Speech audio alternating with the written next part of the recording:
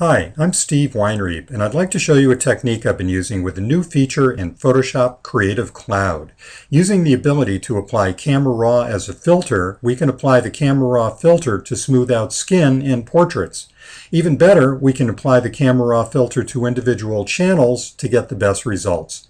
I'm going to demonstrate on this photo of this model, and her skin is pretty smooth, there is a little bit of more texture than I'd like to see because maybe the lighting was a little bit too harsh. I've already gone ahead and done a little bit of retouching to the skin using traditional retouching tools to a new layer over here in the layers panel uh, just to retouch some blemishes with the healing tools but I'm going to go ahead just for convenience flatten this image. What we're going to do is apply the Camera Raw filter in lab color mode. And that way we can better isolate just the lightness channel from the color channels and apply different settings to the different channels. Before we do that, I'm going to go ahead and duplicate the background layer. So let me just, from I'm going to right click here to bring up the contextual menu to duplicate layer. Another way to duplicate the background layer would be to simply drag the background layer down to the new layer icon. But I'm just going to right click and choose duplicate layer. That brings up the background copy layer. Now I have two layers, both identical. And in the channels panel, we can see this image is currently RGB. Going up to the image menu, mode, and I'm going to convert the mode of this image without flattening it to lab color. Now this image is broken up into, instead of red, green, and blue channels, a lightness channel and an A and a B channel, our green and magenta and our blue and yellow channels. And these are color opposites, and that, how, that is how lab color can create all the colors, but then isolate this one channel, just your brightness values, making lab color a very useful color mode. So what I'm going to do next is just click on the lightness channel to isolate that. Now, just a reminder, in the layers panel, I'm working on this background copy layer, not on the composite image, not on the background layer, but the background copy. And then over in the channels panel, for the lightness channel, I'm going up to the filter menu and dragging down to the Camera Raw filter.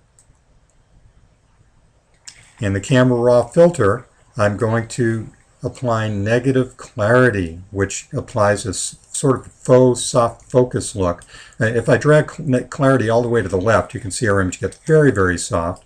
I'm just going to apply negative clarity to an amount of 35. And let me zoom in here. And I'll reset clarity so you can see the original and then I'll just use Command or Control Z to undo and you can see the original versus minus 35 clarity. Now that softened the image overall so to make up for a little bit of that softening I'm going to boost the contrast by just an amount of 15 so plus 15 on the contrast and then click OK and that applies the camera raw filter to the lightness channel.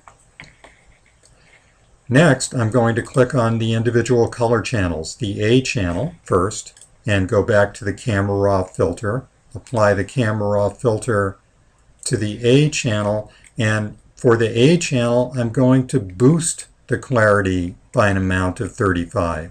And this will just bring some of the contrast back while still allowing us to apply that softening to the skin tones, but it brings some of the contrast back to the overall colors in the image.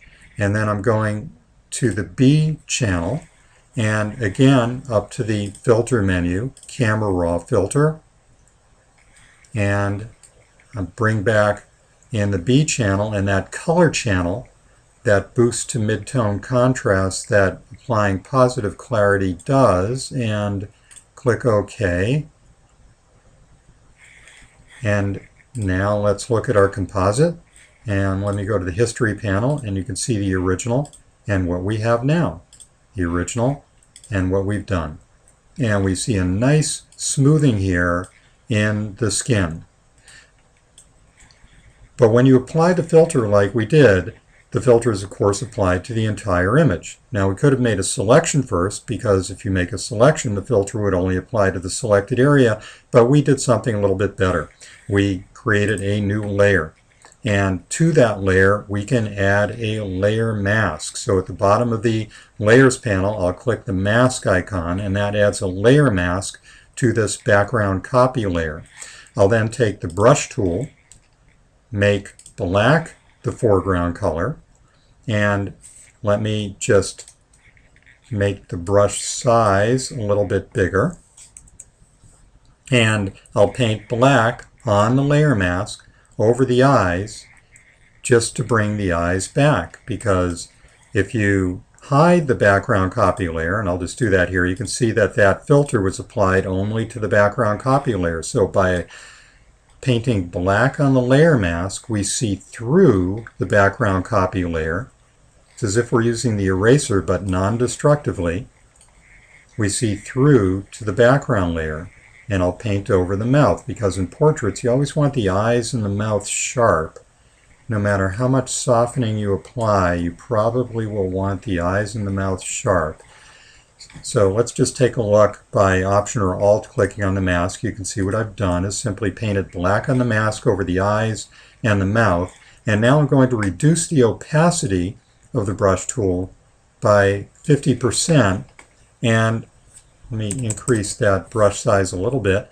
I'll use my bracket keys to make the brush bigger or smaller, in this case bigger. And I'm going to paint over the nose just with an amount of 50% because I like to not bring the nose back all the way. I like to just paint the nose back to the original partially. So if I Option or Alt click on the mask, you can see that where the mask is black, you see through to the background layer, and where the mask is gray, you partially see through to the background layer.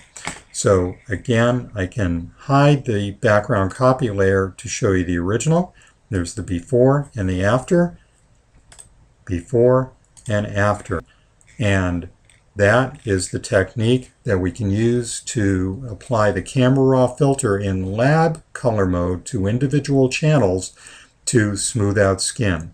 Now, uh, simply apply the filter to the composite image and not to the individual channels. Now, but I find you get a little better contrast with the technique that I showed you, uh, especially in the shadow areas, softening the image this way. Of course, the last thing you might want to do before you output the image is change your mode back to RGB. So we'll go up to the image menu again, go to mode, and RGB. And you can choose here if you don't want to flatten the image, uh, you don't have to.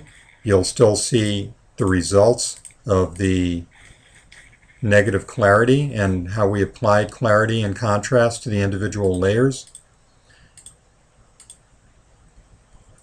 But you won't be able to do that to the RGB image any longer. You'll want to go back to lab color mode if you want to make changes from here. But because you've already applied this, if you want to make a change that's different, I suggest you hide your background copy layer and make a new background copy because again, you can't apply the smart filter in lab color mode. But this technique works very well. Now that you're back in RGB, save your working file, always save your working file, and then you could flatten your image and output as a JPEG or in whatever format you want. Enjoy this new feature. It provides some for some terrific flexibility editing photos using both Photoshop and Camera Raw. This is Steve Weinrebe for Imaging R&R.